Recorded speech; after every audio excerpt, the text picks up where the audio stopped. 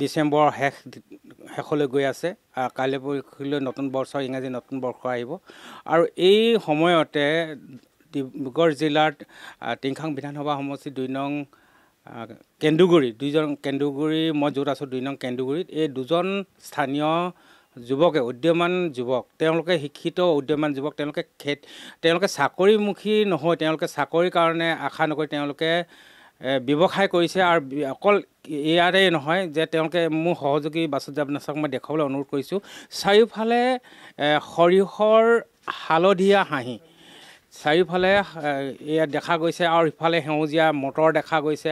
বিভিন্ন ঠাইত তেওঁলোকে ইফালে আলু কৰি আছে।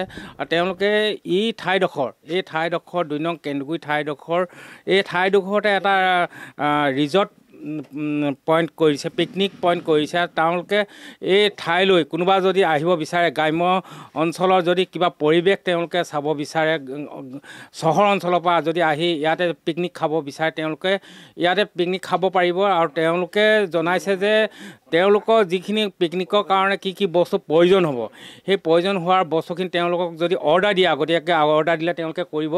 আৰু এই ক্ষেত্ৰত মই তেওঁৰ পৰা মই জানিব বিচাৰোঁ যিহেতু এই খেতি পথাৰৰ লগতে যেনেকৈ কোৱা হৈছে যে খেতি আমাৰ বজাৰ আমাৰ। এই দিশ কৰাৰ লগতে আৰু এটা জনসাধাৰণক চহৰমুখী যিসকল অন্তত ব্যস্ত হৈ থাকে সেই ব্যস্তৰ দিনকেইটাৰ জানুৱাৰী বা ডিচেম্বৰ শেষলৈকে পিকনিক খাব আহে। আৰু সেইমতে এটা পিকনিক পইণ্টটো মানে ঠাই তোমালোকে হেৰি কৰি দিছা। কি ক'বা এই ক্ষেত্ৰত? হয় আমি যিহেতু বুৰিডিং নদীখন ওচৰত আছেই দ্বিতীয়তে ৰামদেৱ শ্ৰী শ্ৰী ৰামদেৱ আটা থানখনো ওচৰতে আছে। যথেষ্ট সংখ্যক মানুহৰ সমাগম ঘটে। সেই তদুপক্ষলক্ষে আমি চিন্তা কৰিলোঁ যে ইয়াতো এটা আমি ধুনীয়া পইণ্ট ৰাখিব পাৰিম। সৰিয়হও ধুনীয়াকৈ ফুলি আছে। সেইকাৰণে চিন্তা কৰি দুইজনে মোৰ লগৰজনৰ লগত কথা পাতি এটা চাংঘৰ তৈয়াৰ কৰি পিনি আমি এয়া বোলো চাওঁচোন কিমান দূৰ কৰিব পাৰোঁ। এতিয়া জনাজাত হোৱাৰ পিছত চাগে দুই এজন আহিব বুলি। ডিচেম্বৰৰ শেষ শেষলৈ গৈ আছে। কাইলৈ পৰহিলৈ নতুন বছৰ ইংৰাজী নতুন বৰ্ষ আহিব। আৰু এই সময়তে ডিব্ৰুগড় আহ, টিংখাং বিধানসভা সমষ্টি দুই নং কেন্দুগুৰি দুইজন কেন্দুগুৰি মই য'ত আছোঁ দুই নং কেন্দুগুৰিত এই দুজন স্থানীয় যুৱকে উদ্যমান যুৱক তেওঁলোকে শিক্ষিত উদ্যমান যুৱক তেওঁলোকে খেত তেওঁলোকে চাকৰিমুখী নহয় তেওঁলোকে চাকৰিৰ কাৰণে আশা নকৰি তেওঁলোকে ব্যৱসায় কৰিছে আৰু অকল ইয়াৰে নহয় যে তেওঁলোকে মোৰ সহযোগী বাসুদেৱ নাচক মই দেখুৱাবলৈ অনুৰোধ কৰিছোঁ। চাৰিওফালে সৰিয়হৰ হালধীয়া হাঁহি।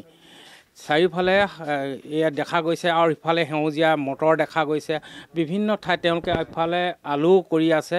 আৰু তেওঁলোকে ই ঠাইডোখৰ এই ঠাইডোখৰ দুই নং কেন্দুগুৰি ঠাইডোখৰ এই ঠাইডোখৰতে এটা ৰিজৰ্ট পইণ্ট কৰিছে পিকনিক পইণ্ট কৰিছে তেওঁলোকে এই ঠাইলৈ কোনোবা যদি আহিব বিচাৰে গ্ৰাম্য অঞ্চলৰ যদি কিবা পৰিৱেশ তেওঁলোকে চাব বিচাৰে চহৰ অঞ্চলৰ পৰা যদি আহি ইয়াতে পিকনিক খাব বিচাৰে তেওঁলোকে ইয়াতে পিকনিক খাব পাৰিব আৰু তেওঁলোকে জনাইছে যে তেওঁলোকৰ যিখিনি পিকনিকৰ কাৰণে কি কি বস্তু প্ৰয়োজন হ'ব সেই প্ৰয়োজন হোৱাৰ বস্তুখিনি তেওঁলোকক যদি অৰ্ডাৰ দিয়ে আগতীয়াকৈ অৰ্ডাৰ দিলে তেওঁলোকে কৰিব আৰু এই ক্ষেত্ৰত মই তেওঁৰ পৰা মই জানিব বিচাৰোঁ যিহেতু এই খেতি পথাৰৰ লগতে যেনেকৈ কোৱা হৈছে যে খেতি আমাৰ বজাৰ আমাৰ এই দিশ কৰাৰ লগতে আৰু এটা জনসাধাৰণক চহৰমুখী যিসকল অন্তত ব্যস্ত হৈ থাকে সেই ব্যস্তৰ দিনকেইটাৰ জানুৱাৰী বা ডিচেম্বৰ শেষলৈকে পিকনিক খাব আহে।